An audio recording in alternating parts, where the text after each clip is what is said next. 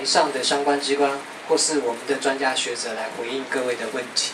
好，在开始我们发言之前，呃，我们现场徐世勋徐议员也到现场来关切这个议题，还有我们王宏威，呃，办公室主任也是到现场，陈建陈主任，好，谢谢。那我们就请第一位罗吉连罗先生，麻烦。我们刚才有讲，每位三分钟，我们在两分钟的时候会有一个铃响提醒，谢谢。呃，那个。客套话我不大讲了，因为我时间只有三分钟，不够讲。对，开始哈。第一个，我是说去年的会议说今年要上网公告，结公告它结果就有吗？我都找不到嘞。会议后不是，不是这不是我们的会议结论，是你的那个那个钻探报告的那个那一份资料，你上面写的结果嘛？好，第一个，我这个在这边哈。第二张，那这张来就是用刚刚他的那个这个钻探这个哈。我对这份的质疑是这样的，我的疑虑是这样，它的地表是在二十七、二十到三五十七公尺嘛，这叫地表。那断层在下面，这是什么东西呢？这就是说，如果如果说我看的没有错的话哈，然后二零一三年的时候，南投的发生地震的时候，中研院说这个就是盲断层有关。那这是不是一个盲断层呢？从东那个地调所的定义来讲啊，它断层啊没有入到地面的哈，它就是盲断层。那盲断层就是受这个挤压，在这边断，这是断层断了，可是它这个没有透过这个出转的地方，告诉你这就是盲断层。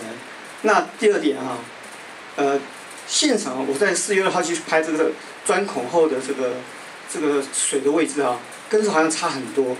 这个看起来大概二十五公里到一一个三十公里，这个写 G L 负二点五米，哦，那差很多，可不可以再确认？下一张，那。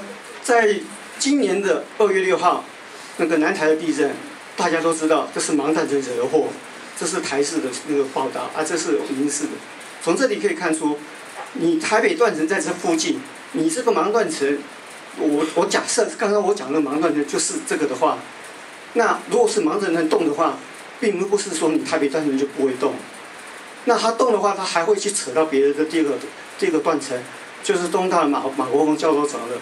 啊，你这个在那个高雄的这个这个叫做美容啊，美容扯到地震以后，它传到台南，台南又会就会是震，所以盲断层是不可以轻忽的啊。那我要讲的说，盲断层的存在，要先要考虑居住的安全。下一章，那所以我后面的结论是这样讲，我说我们开发重点不是在人口和建筑的高度的需求增加，是要去要去考虑他说。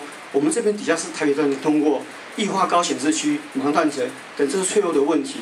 那所以我建议那个市长说，不要说说到，简单讲说要有完整的资料，不要误判了。那我们在接到有这些问题在内的时候，那当然我是想优先考量以顺应自然的方法规划是防灾公园及低密度开发。第二点就是最重要最重要的，刚刚呃有人这个叫这个王老师讲的，他说我外面用照 X 光。看它里面，可是里面长的样子是什么呢？就是说我们这里没有做到一件事情，就是说碳十四近年分析，这是什么呢？就好比我们做做内视镜一样，里面肠子里面的那个肿瘤息肉割掉，你没有去检验说它到底是是良性还是恶性的。同样的，你这个要去做，你才知道说这个断层是在什么时候发生的。你没有去做，你怎么去能用推论呢？啊？所以我说不要用推论的方式，要用科学方再去捕捉。谢谢。好，谢谢。好，下一位陈碧霞陈女士。陈碧霞，陈女士在吗？好，麻烦。